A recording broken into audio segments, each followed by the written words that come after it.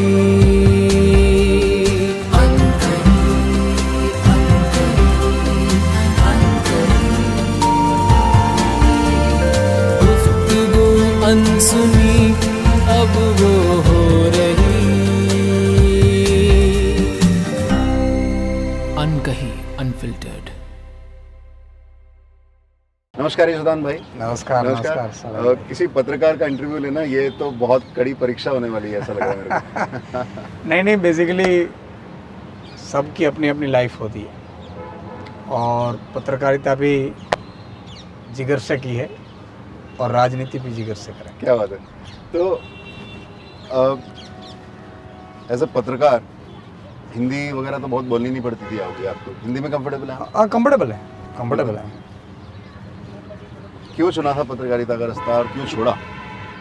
Basically मैं जब ग्यारहवीं कक्षा में पढ़ रहा था तो हाई स्कूल में पता नहीं उस टाइम जब विजिटर फैकल्टी आते हैं कोई, ऐसे ही, मेहमान तो उस टाइम कोई पत्रकार आया था। तो हमारे प्रिंसिपल ने कहा कि सब आ जाओ स्टूडेंट और इनकी बातें, हमें बहुत बड़ा जर्नलिस्ट आया है तो पता भी नहीं था कि जर्नलिस्ट को किसको कहते हैं, क्या नहीं। तो बेसिकली उस दिन मैंने देखा उनको। मैंने उनको सुना। तब मैंने ग्यारहवीं कक्षा में तय किया था कि समाज सेवा पत्रकारिता से ज़्यादा बढ़कर और नहीं हो सकती है। तो हमें ये करना चाहिए। और उस टाइम से मैंने सोचा कि भाई मुझे पत्रकार बनना है। तो मैं जब कॉलेज में आया तो कॉलेज का प्रिंसिपल मेरा, मैं बेसिकली सबको मिलजुल कर रहता था। तो मैंने कहा कि, सर, मुझे जर्नलिज़्म करना है। आप मुझे बताइए गाइडेंस दीजिए, मुझे कैसे करना है? और फिर कॉलेज में ही मैंने अहमदाबाद में जर्नलिज़्म जहाँ गुजरात विद्यापीठ में होता है, वहाँ मैंने पोस्ट कार्ड लिखे। वहाँ मैंने विज़िट की अहमदाबाद में। और वहाँ से सब मिला और मैंने कहा कि मुझे एडमिशन चाहिए, बताओ मुझे क्या करना चाहिए। तो उन्होंने कहा कि एंट्रेंस एग्ज़ाम देनी पड़ती है। मैंने कहा कि ठीक है, उसमें क्या करना चाहिए? तो कि ये ये गांधी जी की ये सब बायोग्राफी की पुस्तकें थी, उसमें से एंट्रेंस एग्ज़ाम आएगी। और ताज्जुब होगा कि उसमें भी 20 लोगों को लेना था। तो बहुत सारे इंटरव्यू देने आए थे। मैं इक्कीसवां सिलेक्ट हुआ पहली बार? कि भाई यार इंटरव्यू में इन्हें तो बहुत गजब बोला है कुछ करने के लिए आया है। तो इस तरह से पत्रकारिता में आगे और सोचा तो पहले ही था कि मुझे पत्रकार बनना है। काफ़ी चर्चाएँ बटोरी आपकी पत्रकारिता ने और काफ़ी बड़े बड़े एग्जाम्पल्स खड़े किए जो आज के दौर में तो देखना बहुत मुश्किल होता जा रहा है। क्यों होता जा रहा है ऐसा? देखो मैं एक तो क्या है कि मैं साफ़ दिल का इंसान हूँ। मैं पत्रकारिता भी इसलिए किया था कि किसी को मैं न्याय दिला सकूँ। मतलब कि किसान परेशान होते हैं तो मैं उसके लिए लड़ लड़ लड़ रहा था। मजदूर श्रमिक युवा बेरोजगार। तो मैं किसी की भी है ना पीड़ा देख नहीं सकता हूँ। मेरी अ, ये वीक वीकनेस है मेरी। मेरा वीक पॉइंट सबसे बड़ा ये है कि मैं किसी की पीड़ा नहीं दे सकता हूँ किसी को रोते हुए नहीं देख सकता हूँ। तो मैंने पत्रकारिता इसी तरह चुनी थी। और मैंने दमकर ट्रेनी रिपोर्टर से चालू किया और मैं youngest editor in chief Gujarat में होऊँगा। 32 टू ईयर्स में मैं एडिटर इन चीफ बन गया था। और तब मैंने शो चालू किया मेरा। किसान की कोई खबर छपती थी ना तो सिर्फ़ एक कॉलम में छपती थी। मैंने पूरा एक एक घंटे का शो चलाया। और शो ऐसे चलाया जैसे कोई आ, किसानों के लिए लड़ रहा हो। यानी कि रिज़ल्ट बेस तो ये तो ईश्वर की कृपा होगी और मुझे बहुत लोगों का प्यार मिला। आ, किसी की ताकत नहीं थी कि आ, जब मेरे शो में मैं कोई ऑफिसर करप्शन लेता है तो मैं मेरे शो में नंबर डायल करता वो बोलता था कि इस नंबर पे डायल करो। और मैंने ऐसी भी चीफ को बोल कर रखा था कि आपके पे फ़ोन आएँगे। बहुत सारे फ़ोन उनके चालू हो। गए एंटी करप्शन की पूरी विंग वो मेरी मेरी मेरी मेरी चैनल से चल रही थी ऑफ़िस से। ऐसा माहौल बन गया। फ़ोन आते थे। यहाँ ईसुदान भाई ने कहा है आपको फ़ोन करने के लिए। और अ, ये लांच मांग रहे हैं। कौन से साल की बात होगी? ये ढाई साल पहले की। अच्छा। ये मैं आप बात कर रहा हूँ। मैंने देखो 16 में मैंने एडिटर इन चीफ का चार्ज लिया था। 2016 में। और जब तक मैं जॉइंट नहीं हुआ तब तक मैं पिक पर था। कर्फ्यू लग जाते थे मेरे शो में। आ, मेरा आठ से नौ का शो चल रहा था फिर मैंने डेढ़ घंटे का किया क्योंकि लोग पागल हो जाते थे।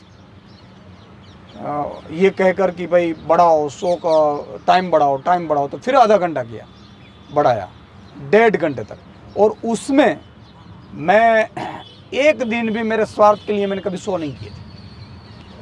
तो उसी टाइम एंटी करप्शन में कोई ऑफिसर का कोई वीडियो आ जाता है तो मैं चलाता था। सरकार हो, विपक्ष हो, कोई भी हो। तो इस तरह से मुझे प्यार मिलता गया। और अंत तक मैं यही पत्रकारिता में देखा और काम किया कि मैं अपने लिए नहीं कर रहा हूँ। ईश्वर ने मुझे बनाया है, किसी और के लिए बनाया है। अपने लिए तो सब जीते हैं। क्या मतलब है? अपने लिए तो फैमिली होती है जॉब होती है पैसे होते हैं एंजॉय होते हैं, आपको ताजुब होगा। मैं जब जर्नलिस्ट था, क्योंकि अब तो नाम भी बहुत बड़ा बन गया था, ईश्वर की कृपा से तो विदेश से फ़ोन आते थे कि आप यहाँ शो करने आओ, अमेरिका से। या तो आप ये अमेरिका में, ये मैंने कहा कि मैं नहीं आऊँगा।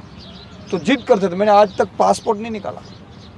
मेरा, कि मुझे गुजरात के अलावा मुझे कुछ करना नहीं है। मैं जिन, जो मेरी जनता बेचारी दो टक के खाने न खा सकती हो और हम ऐसो आराम करें ये हो ही नहीं सकता। और इसी के चलते मैंने आ, लास्ट एक समय आया कोरोना में मैंने देखा बुरा हाल। और जब मैं कॉल करता था सबको तो बहुत और मुझे तकरीबन हज़ार से ज़्यादा मेरे मोबाइल पे कॉल आते थे। मतलब कि मोबाइल उठाना मुश्किल था ये हालत थी। तब मैंने देखा कि यार कुछ कमी है। और मैं इन लोगों को अगर लोगों की आस भी बहुत थी। आपको आश्चर्य होगा कि मेरी चैनल पे आ, लोग चैनल ढूंढ ढूंढ कर पचास सौ लोगों की लाइन लगती थी कि सुदान भाई को मिलकर मुझे ये रजूआत करनी है। एड्रेस पे आते थे। हाँ एड्रेस पे आते थे और रोते थे कि मेरा ये प्रश्न छोटे छोटे प्रश्न से ऐसे नहीं थे। लेकिन मैं ये सोच रहा था कि मेरा काम तो पत्रकारी का है सबका मैं कैसे कर पाऊँगा? तो लोग बेचारे परेशान भी होते थे कि सुदान भाई आप बोल दो तो शायद हो जाएगा। लेकिन बोलने से तो नहीं होता ये तो गवर्नमेंट है सरकारें हैं। और ऐसी सरकारें में लोग बैठ गए हैं जिसको चमड़ी इतनी वो मोटी हो चुकी होती है कि आप किसी को सुनते भी नहीं तो ये हालत था। और आखिरकार एक दिन ऐसा आया कि मैं कोरोना में रात को रो रहा था। मैंने देखा कि यार ऑफिसर अपने तरीके से डिसीज़न ले रहे हैं कि 108 के बिना अस्पताल में नहीं करेंगे। मैं अस्पताल एक देखने गया। एक बुढ़ी माँ गाड़ी चलाकर आई थी अपने बेटे को लेकर। अस्पताल में एंट्री नहीं थी। वो ड्राइवर साइड से उतरकर अपने बेटे के साथ आई और यूँ चिल्ला रही थी और बेटा जान दे देता कोरोना में। एडमिट इसलिए नहीं किया जा रहा था कि भाई 108 के बिना नहीं आया। तब मैंने थाम लिया कि यार कुछ तो ईश्वर ने मुझे अपने शौक के लिए नहीं बनाया है और मैं अपने शौक के लिए बना भी नहीं मैं आवाज़ उठा भी सकता हूँ तो मैं आवाज़ बन भी सकता हूँ।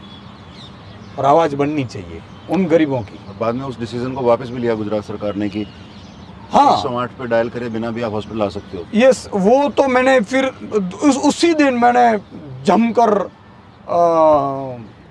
मेरा प्रोग्राम किया और मैंने मोबाइल नंबर डाला ऑफिसर का।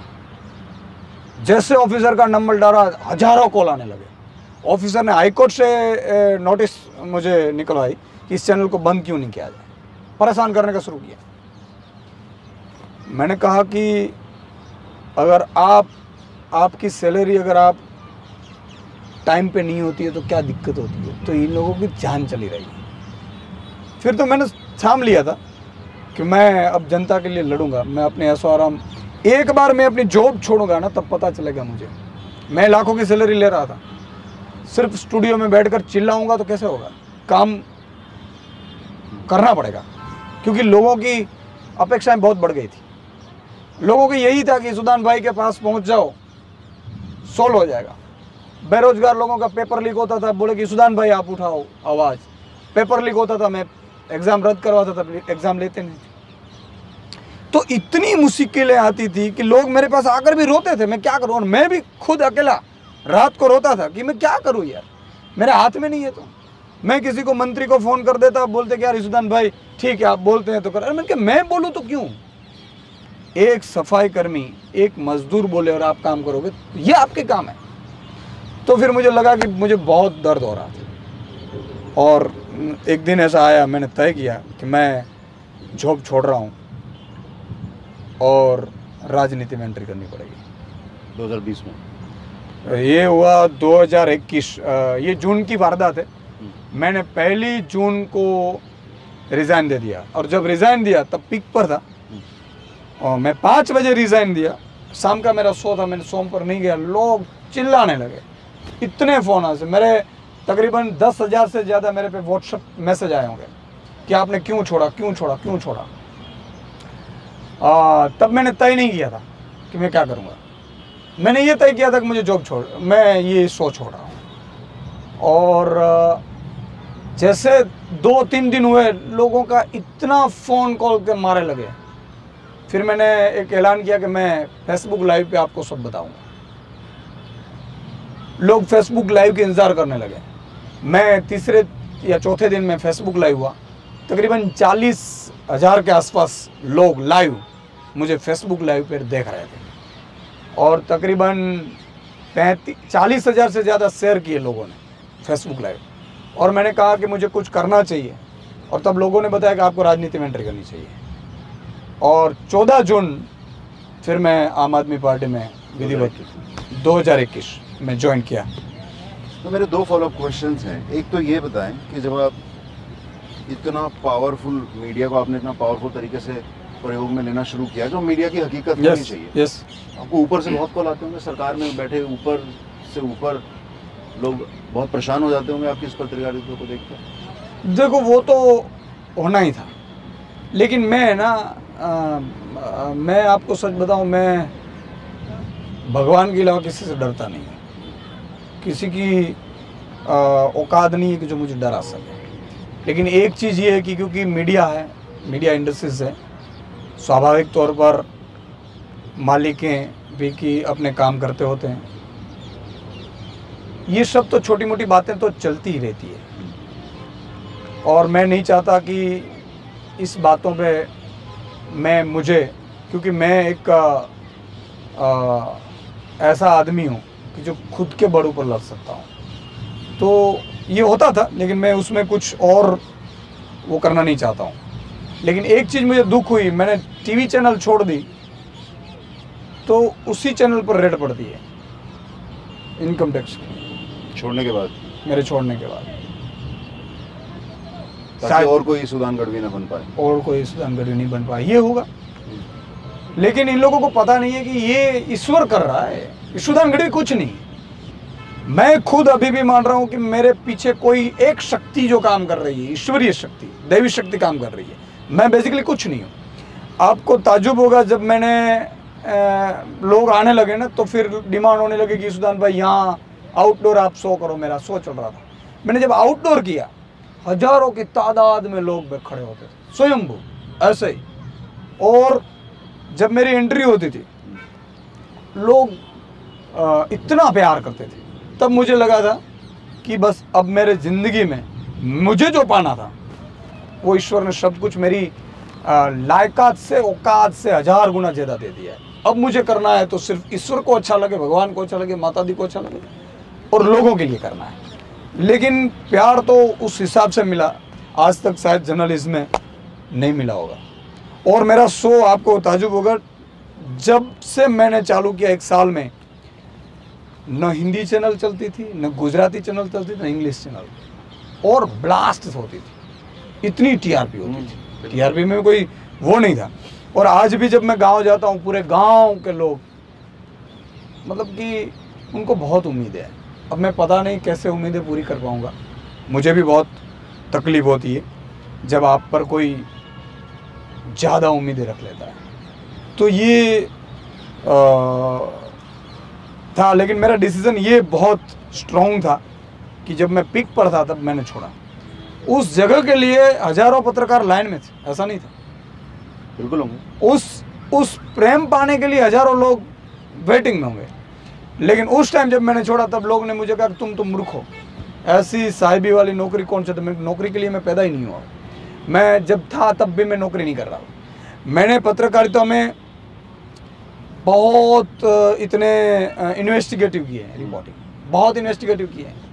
मुझे बहुत सारी धमकियाँ मिली थी। छोटा था तब भी। इलीगल कंस्ट्रक्शन के बारे में हो या पोल्यूशन के बारे में हो या लाइमस्टोन की चोरी के बारे में हो, सब कुछ में मैंने जी जान के पत्रकारिता की और ईश्वर की कृपा है, आज तक मुझे कुछ हुआ नहीं। मेरे ज्वाइन होने के बाद भी मेरे पे बहुत जानलेवा हमला किया गया था। मेरी गाड़ी, वाड़ियाँ सब तोड़ दी गई थी। लेकिन ईश्वर की कृपा मानो कि मैं जब गाड़ी में से उतरा, तब ग्लास के इतने मेरे मेरे इसमें थे, गोद में थे। फिर भी मुझे कुछ नहीं हुआ। तो ईश्वर की देन है, ईश्वर की कृपा है। और मैं ख़ास तौर पर ये मानता हूँ कि ज़िंदगी जब आप पैदा होते हो ना, तब आपकी डेथ की टाइम लिख लेती है। और जब टाइम ही लिख चुका है तो फिर डरने की बात नहीं होती, वो तो उसके हाथ है। आपने डेढ़ सौ करोड़ रुपए का स्कैम भी उजागर किया था। बीजेपी सरकार का। ऐसा कोई स्कैम था जो आपने उजागर किया? था बहुत सारे स्कैम थे। सिर्फ़ डेढ़ सौ करोड़ का नहीं। हाँ। लाइमस्टोन का भी था। हाँ। उसमें भी बहुत तरीके से सिस्टमेटिकली चोरी की जाती थी। तो मैं खुद रेड डालता था। और ऑफिसर को बुलाता था कि यहाँ ये देख कितनी गाड़ियाँ निकल रही है। आ, मैंने इंडस्ट्रीज़ में भी पोल्यूशन कर रहे थे तो उसके ही चलते भी मैंने वो किया था। तो एक चीज़ है स्कैम मैं तो मैंने कहा कि फिर तो ये जो जितने कांड हुए थे मूंगफली वाले हो या आ, ये सब वो सब भी मैंने उजागर किए थे। मैंने ही करवाए थे। और लोगों को न्याय दिलाने के लिए मैंने ये सब पूरी छोटी छोटी बातें, धमकियाँ, ये तो चलती ही रहती थी पहले से ही। और उससे तो मैं है ना दिल्ली का हो गया। लेकिन एक चीज़ मैंने देखी, जनता का प्यार। जनता को अपने लिए लड़ने वाला हीरो चाहिए, मैंने देखा है।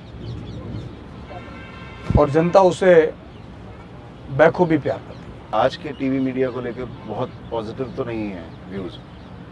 ऐसा तबका जब आपके जैसे लोग वहाँ पर हैं, और भी पत्रकार ऐसे हैं जो तमाम ऐसे इतने दमखम से पत्रकारिता कर रहे हैं, पर क्यों इतना लार्जर चंक सरेंडर कर चुका है? कारण क्या है इसका? यदि पत्रकारिता में जो लोग आना चाहते हैं, जो स्टूडेंट्स यंग एस्पायर करते हैं आपको देखकर ऐसा पत्रकार बनने के लिए, उनको क्या उम्मीद जगाई है? तो जिस तरह से देखो, मैं तो बोल रहा हूँ स्टूडेंट जो जर्नलिज्म कर रहे हैं, उनको निराश होने की ज़रूरत नहीं है। ये उतार चढ़ाव है। बेसिकली आते हैं। आज माहौल ये मान लो कि आम आदमी पार्टी में मैं जॉइंट हुआ। तो गवर्नमेंट को तो ऐसा ही लगेगा कि आम आदमी पार्टी की खबरें ज़्यादा न चले अच्छी तरह से न चले। तो इसलिए दबाते हैं। लेकिन ये पीरियड हर हमेश के लिए नहीं है। इतना चौका मैं कह सकता हूँ हंड्रेड परसेंट पक्का कि दबाया बहुत ज़्यादा है मीडिया को। एडवर्टाइज देने के मामले में हो, फिर क्या है कि चलाना हो, सैलरियाँ करनी, अब तो बहुत, ये तो प्रोफेशनलिज्म हो गया, महँगा भी हो गया है। उनकी इक्विपमेंट इतने महँगे हो गए हैं। चलाना इलेक्ट्रॉनिक मीडिया बाप तोबा हो जाता है। डेली ये सफ़ेद हाथी हाथी जैसा है। तो कहीं ना कहीं मालिकों को इस तरह से डराना, धमकाना, ये चीज़ होती है। लेकिन फिर भी मैं ये मान रहा हूँ कि उतार चढ़ाव है। जर्नलिज़म, जर्नलिज्म की तरह ही कल ये हैं कल हम आ जाएँगे आज ये हैं। तो शायद उससे भी अच्छा हो जाए माहौल। तो सबको निराश नहीं होना है जर्नलिस्ट को जर्नलिस्ट की तरह काम करना है।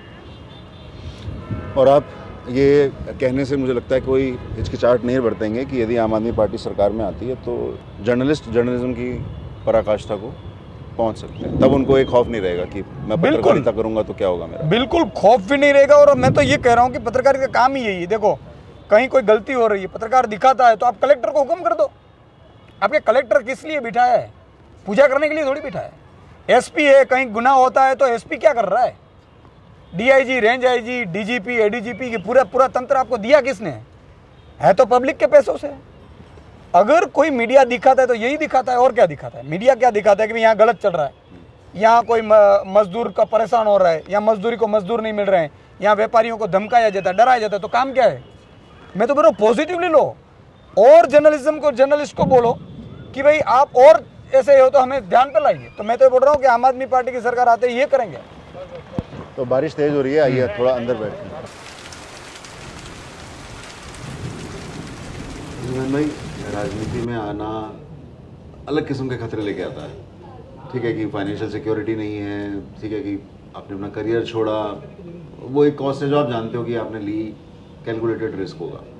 लेकिन बहुत सारी ऐसी चीज़ें हैं जो आपको नहीं मालूम। जनता प्यार करती है, उसके भरोसे आपने इतना बड़ा निर्णय लिया।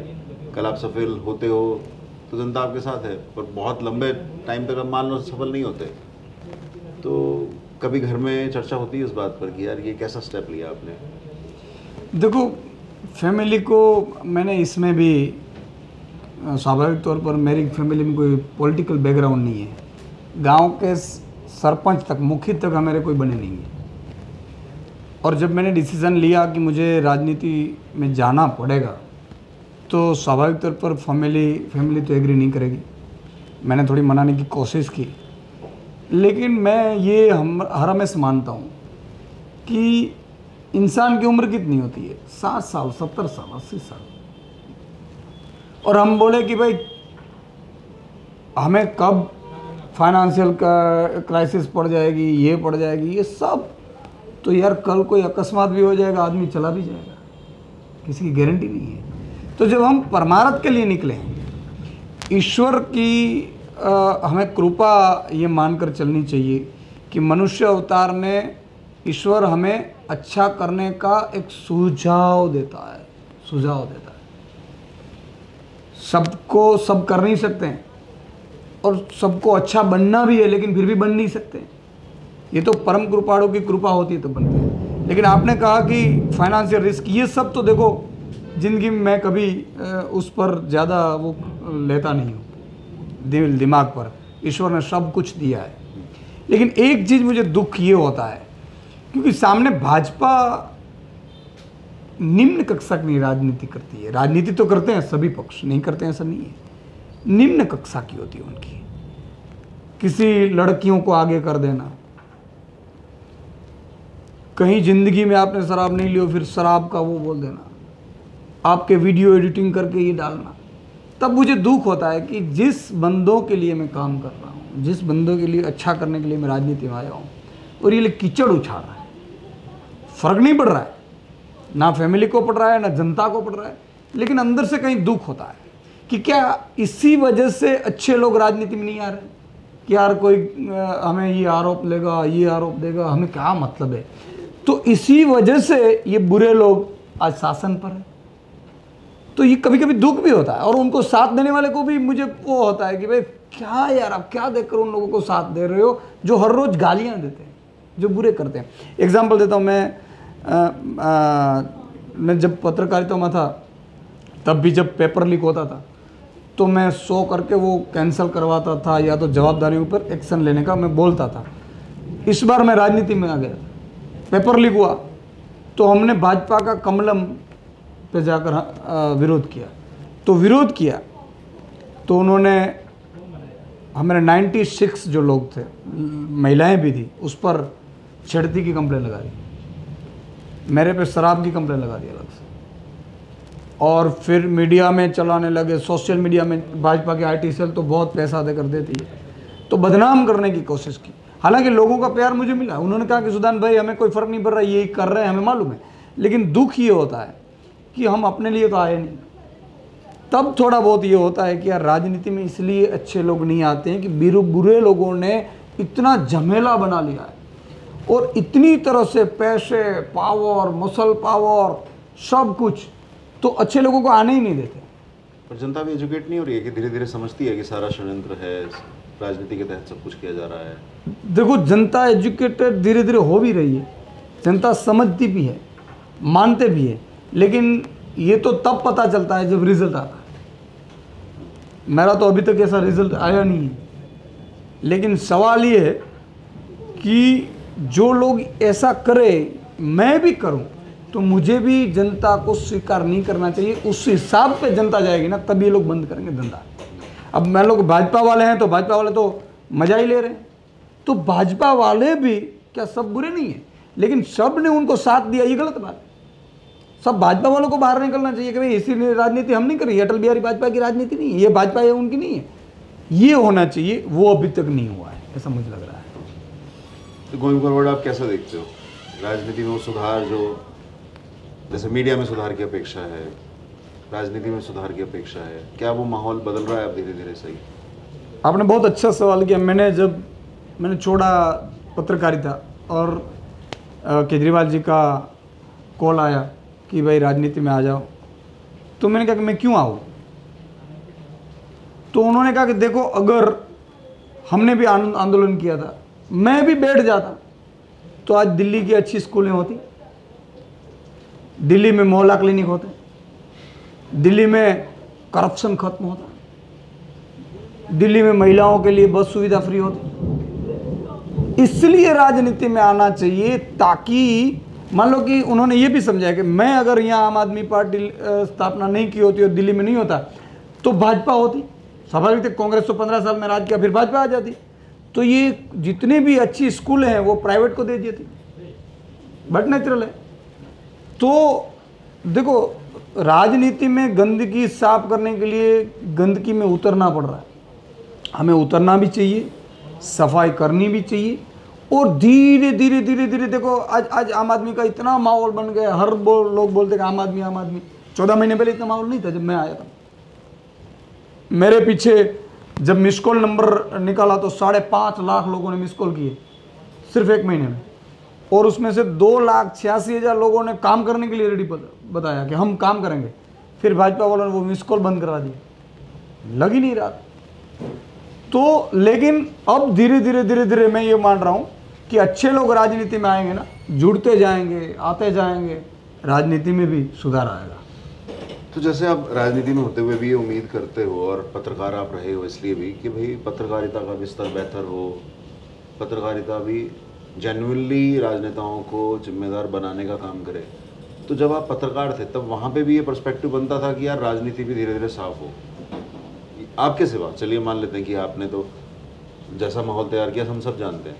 लेकिन क्या लार्जर पर्सपेक्टिव पे देखा जाए तो क्या एक बड़ा पक्ष मीडिया का ये चाहता है कि राजनीति सुधरे, या चाहते हैं कि ठीक है लेन देन चलता है तो बढ़िया है, चलने दो? देखो, दो, वहाँ पे भी दो गुट हैं। जो जर्नलिस्ट है, नीचे लेवल के, वो सब चाहते हैं कि अच्छी तरह से जर्नलिज्म होना चाहिए। लेकिन जर्नलिज्म को बिज़नेस बनाना काम किया है कुछ लोगों ने, ये गलत बात है। जैसे बिज़नेस बनाया तो प्रॉफिट और लॉस देखेंगे। देखो, समाज सेवा, पहले राजनीति में कौन आते थे? शुरुआत में आप देखो, लाल बहादुर शास्त्री। लाल बहादुर शास्त्री जैसे आए, उन्होंने बोला कि भाई मुझे गेहूँ आयात करनी है, लेकिन अब पैसे नहीं है। लेकिन उनकी वाइफ को बोला कि क्या हम एक तक भूखा रख सकते हैं? तो रख सकते हैं। तब तो मैं पूरी जनता आवाम को बोलूँगा, जनता को बोलूँगा कि भई आप भूखे रहो। राजनीति में समाज सेवा का बड़ा स्वरूप राजनेता है। कुछ ने गंदा किया। उसी तरह मीडिया में भी गंदगी थोड़ी फैली है, नहीं फैली है, ऐसे नहीं है। उसको बिज़नेस मॉडल की तरह, लॉ स्कैम कर रहा है, प्रॉफिट कर रहा है, नफ, मुनाफे कमाना, ये मीडिया का काम नहीं था। पत्रकारिता का काम सिर्फ़ आईना दिखाना था। इसलिए महात्मा गांधी ने जब स्वराज चालू किया था, नवजीवन शुरू किया था, तब कोई एड नहीं लेता था। इसलिए नहीं लेता था कि मैं किसी की एड लूँगा तो वो बोलेंगे, यार, आपने तो ये आपको नहीं छापना है। तो इसी तरह क्रांति लाई थी। तो मैं भी मान रहा हूँ कि कुछ ऊपर लेवले जब बिज़नेस मॉडल अपनाया है तो उसमें अभी पत्रकारिता जैसा दिख नहीं रहा है।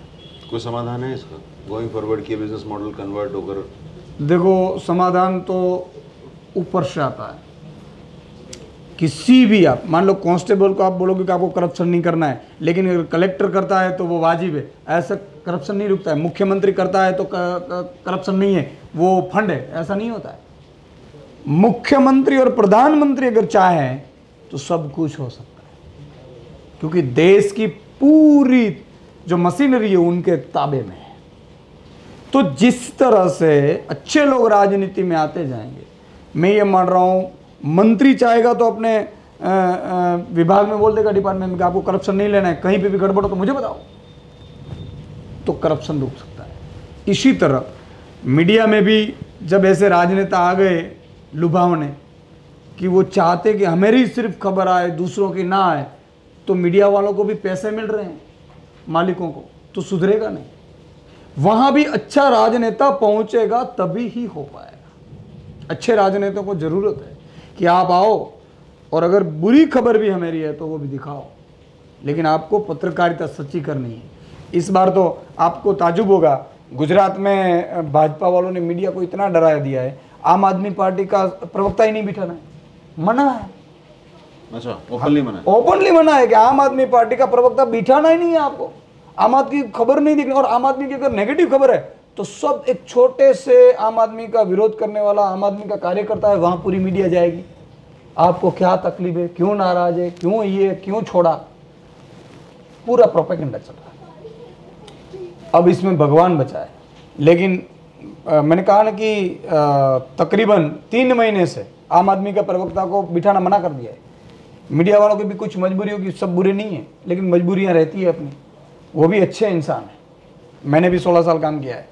लेकिन मजबूरियाँ तो सबको दो गुट में जैसे आपने कहा कि बढ़ती जा रही है मीडिया तो ऐसा भी लगता जा रहा है कि एक मीडिया होती जा रही है जो प्रिंट में या टीवी मीडिया कहला सकती है, और दूसरी मीडिया जो धीरे धीरे धीरे धीरे, अब यूट्यूब की तरफ़ शिफ्ट हो रही है फ्रीलांसिंग की तरफ़ शिफ्ट हो रही है और वो चाहती है भाई हम इंडिपेंडेंट मीडिया तो यही बचेगी, नहीं तो हमें तो बिज़नेस ओनर्स की चैनल मालिकों की सुननी पड़ेगी, क्योंकि वहाँ तो प्रॉफिट लॉस ही सबसे बड़ी चीज़ है। ये ये नया जो आ रहा है डिजिटल मीडिया ये बहुत ही इम्पोर्टेंट है। अगर वहाँ जो भी रहे, वो प्रॉफिट के मार्जिन से नहीं रहने चाहिए, पत्रकारिता बचाने के हिसाब से रहने चाहिए, उस उस उम्मीद के साथ। लेकिन इसमें मैं भी ये कहूँगा कि केंद्र सरकार उसी पे भी नज़र कर रही है। अच्छा। हाँ। और देखो भा एक अ, सरकार के पास बहुत पावर होते हैं केंद्र सरकार के पास। और इसलिए आप जहाँ पे भी देखो आज महँगाई इतनी बड़ी है कोई महँगाई की डिबेट नहीं है। ये इन्होंने क्यों छोड़ दिया फलाने पक्ष ने क्यों छोड़ दिया उसे जनता का क्या लेना देना? मैं ये बोल रहा हूँ जनता का समाधान क्या है? मेरी अगर मैं पाँच साल तक मैंने सोच लाया पाँच साल में 80 प्रतिशत मेरी डिबेट में, मेरे शो में सिर्फ़ जनता के इश्यूज़ थे और फिर भी नंबर वन थे। मेरा सोर्स नंबर वन था, ना हिंदी चलती थी, ना गुजराती चलती थी, ना इंग्लिश चैनल चलती थी। और ये दावे के साथ मैं कह रहा हूँ तो टीआरपी क्या करें? तो ऐसा नहीं है कि लोग देखना नहीं चाहते, लेकिन आप बताना नहीं चाहते। तो मैं भी यही उम्मीद करता हूँ कि नया डिजिटल मीडिया कुछ अच्छा कर पाए। अब राजनीति में आप प्रवेश कर चुके हैं तो चुनावी यात्राएँ भी शुरू होगी। आप जनताओं में भी, जनता से भी मिलेंगे, कहीं ना कहीं हो सकता है। आप चुनाव भी लड़ें और जब आप चुनाव लड़ते हैं तो एक संगठन चलाना, संगठन बनाना, वो भी एक ज़िम्मेदारी बन जाती है। गुजरात में इस समय क्या माहौल है? और आपने तय कर लिया मन में कि हाँ यार, चुनाव तो अब राजनीति में आ गए तो चुनाव तो लड़ना ही है। वो तो पार्ट है, पार्ट एंड पार्सल है इस लाइफ का। देश की कम नसीबी है कि अच्छे लोगों की राजनीति में जो मौन है ना, इसलिए बुरे लोग घुस चुके हैं। सही बात कहा कि संगठन, देखो बुरे लोगों के पास संगठन भी ज़्यादा है, पैसे भी ज़्यादा है, सब कुछ ज़्यादा है। लेकिन इतिहास के पन्ने भी दिखा, देख लो, हमेशा विजय सत्य की होती है। कौरवों के पास भी बहुत बड़ी सेना थी। ऐसा नहीं था अश्वत्थामा द्रोणाचार्य, भीष्म पिता कर्ण, दुर्योधन, दुशासन, सब कुछ थे। सब योद्धा थे। फिर भी पांडव में से एक पांडव कम नहीं हुआ, क्योंकि सत्य की विजय है, ईश्वर की विजय है, भगवान कृष्ण की विजय है। और हमारे शास्त्रों भी यही कहते हैं, मैं तो आध्यात्मिक बंदा हूँ। विजय हमेशा सत्य की होगी, इन लोगों को जितना भी करना है, और वो जितना तड़पाएँगे विपक्ष को, लोगों को, उतनी जल्द खत्म होने का चांस उनका ज़्यादा रहेगा। अब जब फ्री होते हैं तो क्या करते हैं? क्या शौक कुछ हैं आपके? बेसिकली मेरे शौक सिर्फ़ एक ही है। जनता के लिए कुछ अच्छा काम करना। और कुछ अब शौक मेरे बच्चे नहीं। मैं छोटा था तब शौक था थोड़ा बहुत। अब वो भी ख़त्म हो गए। मैंने चौदह महीने में तकरीबन 87,000 किलोमीटर का प्रवास किया है। दो बार गुजरात के कोने कोना मैंने छान मारा। मेरी 40 साल की उम्र में मैंने नहीं किया। आ, विदेश जाने का शौक नहीं है घूमने का शौक नहीं है पैसों का शौक नहीं है गाड़ी का शौक नहीं है बंगले का शौक नहीं है। मैं कहीं पे भी आप जुपड़ी में दे दो तो मैं वहाँ पे सो जाऊँगा। मुझे सिर्फ़ एक ही शौक है कि मैं अच्छा काम करूँ पुण्य कमाऊँ आशीर्वाद दूँ। दुआएँ चाहिए मुझे। क्योंकि मनुष्य अवतार को अंतिम लक्ष्य ही ये मोक्ष है। और मोक्ष तभी मिलता है जब आपको दुआएँ मिलती हैं। अच्छा करो। जो कोई रोता है किसी को मदद करो, जितना भी हो सके। ज़रूर नहीं है आप सब कुछ मदद करता हो। लेकिन जितना भी हो सके, ईश्वर ये कहता है कि आप अपनी तरफ़ से मदद करने की नेम तो रखो, मैं आ जाऊँगा। और इसी बदौलत मैं छोटे से गाँव का बच्चा हूँ। मैंने कॉलेज में फ़र्स्ट टाइम जब मैंने अहमदाबाद में अगर पैर कदम रखा होगा, तब मैं कॉलेज में रखा। इस, इससे पहले एक बार मैं टूर में आ गया था, माउंट आबू तब आया था। फिर भी ईश्वर ने इतनी तक पहुँचा दिया। मेरा कोई गॉड फादर नहीं है। मेरी फैमिली बैकग्राउंड में कोई राजनीति में नहीं थी। फिर भी जो मुझे दिया है ना ईश्वर ने, भगवान ने, मेरी औकात से, मेरी लायकात से कहीं गुना ज़्यादा दिया है। अब मुझे मेरे लिए कुछ नहीं करना है। जितना ईश्वर चाहेगा, मैं जनता की सेवा करूँगा। यही है मेरा शौक तो इस तरह के विचार तो आपने जैसे कहा, आप आध्यात्मिक व्यक्ति हैं, फ्री समय में कुछ पढ़ते हैं? किसी तरीके का साहित्य? हाँ फ्री समय में मैं हिमालयों का सिद्ध योगियों का पुस्तकें पढ़ता हूँ मुझे आध्यात्मिक पुस्तकें, संतों के पुस्तकें बहुत पढ़ने की इच्छा व्यक्त रहती है। और जब मैं फ्री रहता हूँ तो ये पुस्तकें मैंने लगभग 300 से ज़्यादा पुस्तकें हिमालयों के सिद्ध योगियों के पढ़े हैं।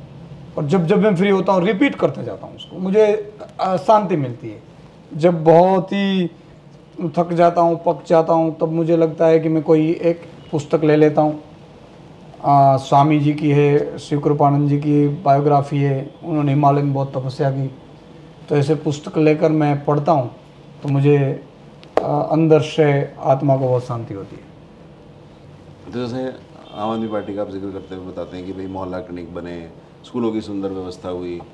गुजरात की क्या मांगे हैं? गुजरात जो आप यदि गुजरात में आती है तो आपका क्या सपना है गुजरात में? क्या बदलना चाहिए? देखो पहले तो गुजरात में करप्शन खत्म होना चाहिए। सबसे बड़ी प्रॉब्लम सबसे बड़ी प्रॉब्लम करप्शन है। दूसरा हर बच्चे को बच्चा हो या बूढ़ा हो एक भी पैसा देने के बिना उसका इलाज होना चाहिए। और अच्छी से अच्छी अस्पताल में होना चाहिए।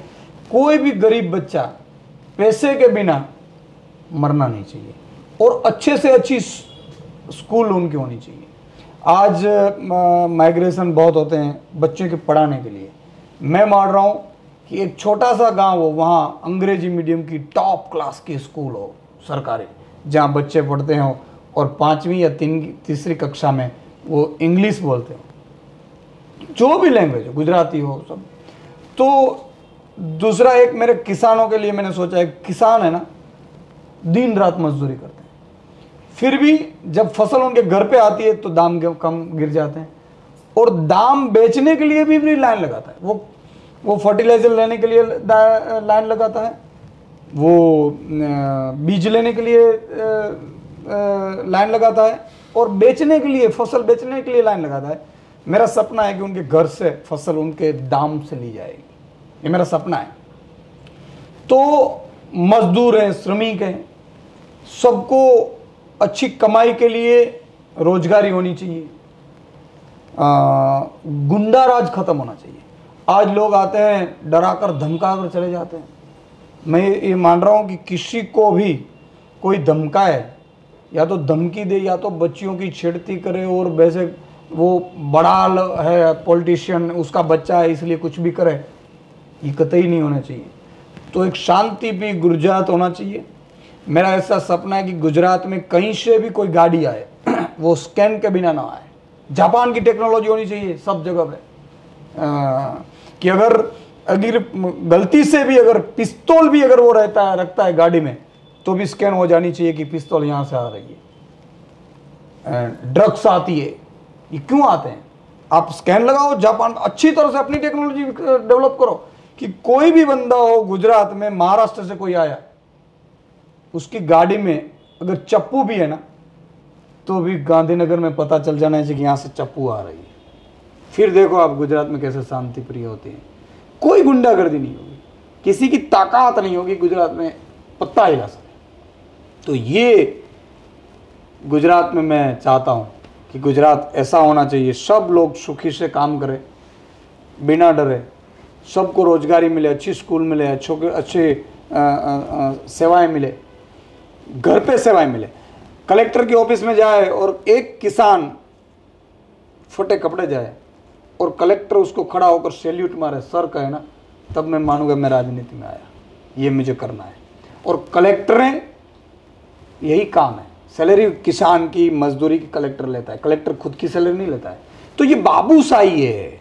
बड़े पॉलिटिशियन है तो आप फ़ोन करो तो छूट जाते हैं बाकी किसी को पकड़ लेते हैं।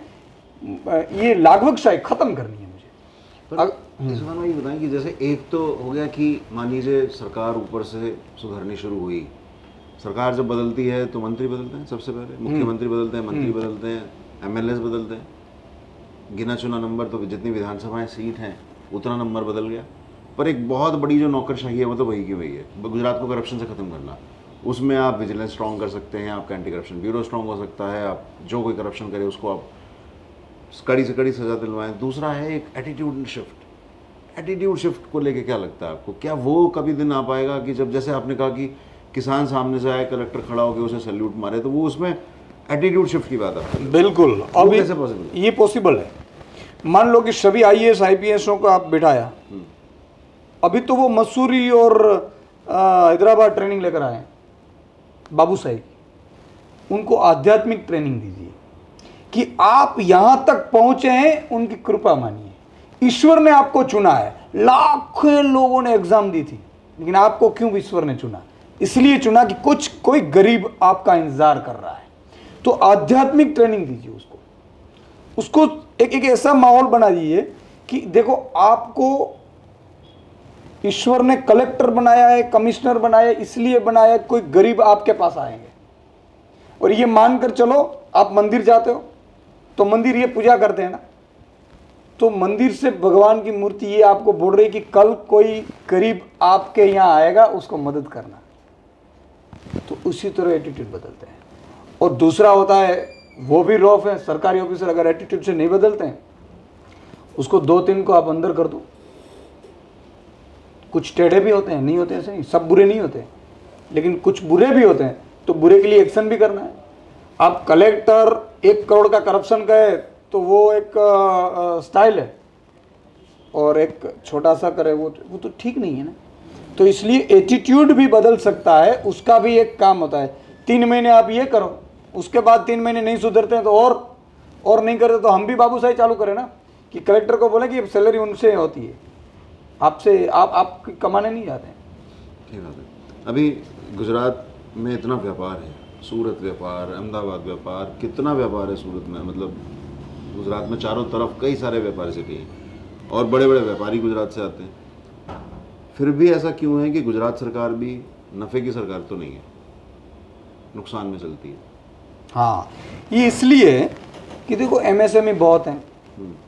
लेकिन गुजरात में करप्शन बहुत है। ढाई लाख करोड़ का बजट है ताजुब होगा। एक भी काम बिना करप्शन नहीं हो रहा है। अच्छा। एक भी काम नहीं हो रहा है। और मतलब कोई फैक्ट्री चालक है तो बेचारा फैक्ट्री इंस्पेक्टर को पैसा देता है बॉयलर इंस्पेक्टर को पैसा देता है एसपी कलेक्टर मामलतदार ये सब और ऊपर से मंत्री ये सब। तो ये क्या एक करप्शन का पूरा सिस्टम है? करप्शन की वजह से होता क्या है कि जो एक एक बत्ती में ये पढ़ रहा हूँ मतलब कि बिजली की, बिजली का थम्बा है। वो अगर पाँच हज़ार में बन रहा है करप्शन होगा तो वो नौ हज़ार में बनेगा। तो फिर घाटे में चलेंगे। दूसरा, यहाँ पॉलिटिशियन मज़े उड़ाते हैं। उनको लगता है कि यहाँ हमारी सरकार तो जाने वाली नहीं है। जितना चाहे करप्शन करो। करप्शन वाले दूसरी पार्टी वाले हैं, उसको डरा कर अपने में ले लो। उनको करप्शन करवाओ। कोई डर नहीं है। ताकि क्या है कि एक तो ये लोग बुरे लोग आ गए। जिसको 2000 में फैक्ट्री में काम नहीं कर रहे थे ना, वो आठ और नौ और दस पास वाले सब आ गए। और उनको पैसे बनाने, पैसे बांटकर चुनाव जीतना और पैसे बनाने, यही है। तो इसी वजह से गुजरात सरकार घाटे में चल रही है। ऐसा नहीं है प्रॉफिट में नहीं हो सकती है। ये सब कुछ सेवाएँ यहाँ फ्री नहीं अब देखो दिल्ली में अरविंद केजरीवाल जी सब कुछ फ्री देते हैं। फिर भी एक हिंदुस्तान में सरकार है जो नफे में चल रही है, मुनाफे में चल रही है, और यहाँ घाटे में चल रही है, कुछ सेवाएँ फ्री नहीं है। हो सकता है, आपकी नीयत होनी चाहिए, और वहाँ तो आधी सरकार है। यहाँ अगर आम आदमी पार्टी के आ गए तो मैं आपको दावे के साथ कहता हूँ कि पाँच साल में गुजरात सिंगापुर जैसा बन जाएगा, और फिर भी कोई कर्जा नहीं होगा। अभी साढ़े तीन लाख करोड़ का कर्जा है ना। कर्जा बिना सेवाएँ भी होगी, फ्री भी, और उसका कोई ज़्यादा होता नहीं है बहुत ईजी मैं आपको बताऊँ कि अगर बस से बसेस में अगर महिलाओं को फ्री कर सुविधाएँ कर देते हैं तो तकरीबन 500 करोड़ का होता है। क्या होता है यार 500 करोड़? ढाई लाख करोड़ बजट 500 करोड़? कुछ नहीं होता। है तो ये चीज़ होती है। और करेंगे अगर ईश्वर की इच्छा हुई तो वही होगा। आपके गुजरात को लेकर आपने सबने बताए। कभी अभी आपकी उम्र शायद चालीस चालीस। चालीस के आसपास है। एक बहुत बड़ा जीवन आपने पत्रकारिता को दिया अगला जीवन आपने पूरा राजनीति के लिए चुना है। कभी किसी किस्म का आप भाजपा सरकार के अगेंस्ट में खड़े हो। बहुत सारी सरकारें आई होंगी, गई होंगी, बहुत सारे राज्य हैं, देश में उनतीस राज्य हैं जिनमें दूसरी सरकारें भी हैं। लेकिन भाजपा सरकार के सामने खड़ा होना माना जाता है कि भैया, खौफ को किनारे रख के खड़े हो सकते हो आप उनके सामने। और गुजरात में तमाम चीज़ें ऐसे हादसे हुए हैं 2002 से भी पुरानी बात यदि हम करें तो यहाँ के रहते गृह मंत्री की हत्या हो गई थी। हत्या हुई थी। आज तक उसके ऊपर जाँच पेंडिंग है अलग अलग व्यूज़ दिए जाते हैं। उसके बाद से लेकर आईपीएस को जेल में डाल दिया जाता है जो सरकार के अगेंस्ट में आवाज़ उठाता है। कभी किसी किस्म का खौफ कोई डर या कोई कोई ऐसी आहट महसूस करते हो कि यार ऐसा हो गया तो ये क्या होगा? मैं ना अलग किस्म का आदमी हूँ। मौत से तो मैं कभी डरा ही नहीं था। ना पहले भी नहीं। और जब आदमी मौत से नहीं डरता तो वो किसी से डरता नहीं। खौफ मुझे छू नहीं सकता है। एक चीज़ ये हमेशा मुझे रहती है कि, देखो, यहाँ भाजपा की सरकार है, खुद नरेंद्र मोदी और अमित शाह का गृह राज्य है। बचाने के लिए क्या क्या नहीं करेंगे। कुछ भी कर सकते हैं। नहीं कर सकते, ऐसा नहीं है। लेकिन मैंने फिर भी कहा कि जब रावण का राज था ना श्रीलंका में तो राम उसके पास में छोटा लग रहा था। और राम ने कोई अयोध्या से सेना नहीं बुलाई थी। जो आए, वानर सेना आई सबको लेकर चले। लेकिन उनको विश्वास था कि एक एक दिन जीत सत्य की होगी। तो खौफ तो बेसिकली मेरे दिमाग में नहीं रहते उन्होंने कार्यकर्ता को फोड़ते हैं कार्यकर्ता को डराते हैं कार्यकर्ता को भाजपा में ले जाते हैं बिठा देते हैं सब कुछ करते हैं। ये सब कुछ भाजपा कर रही है। मेरे पे पे अनगिने कितने आरोप डाले गोपाल भाई पे भी डाले। अलग अलग वीडियोस करना ये करना गंदी अ, सोच अपनाते हैं। लेकिन मैं ये भी सोच कर आया हूँ कि साठ साल है ना उसके बाद एक दिन भी ईश्वर अगर वो जीने का टाइम देता है ना तो वो बोनस है। मेरी चालीस हो गई है। बीस जीना है। जीना है परमार्थ के लिए, जनता के लिए। तो कुछ भी हो सकता है। सहन कर लेंगे। और ख़त्म हो गए तो ख़त्म। दूसरे आएँगे ईशुदान ये कहाँ दिक्कत है? अब सृष्टि है सालों से चल रही है। एक ईशुदान मर जाएगा, हत्या हो जाएगी तो उससे कोई फ़र्क नहीं पड़ने वाला है। शायद उसी से कुछ और अच्छा हो जाए जनता में। भगत सिंह को जब बोला तो भगत सिंह को बोला कि तुम माफ़ी मांग लो। लेकिन भगत सिंह ने कहा कि मैं अगर आज माफ़ी मांग जाओगे तो मेरी जनता सो जाएगी।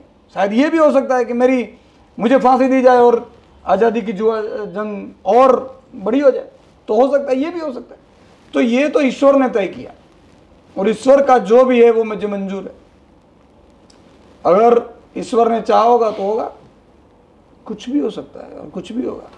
आप गुजरात भर घूमे, क्या माहौल है? क्या लगता है आपको? कितना बड़ा बदलाव इस बार गुजरात विधानसभा चुनाव में आने वाला है? देखो, माहौल तो बहुत है। आम आदमी पार्टी के लिए माहौल है।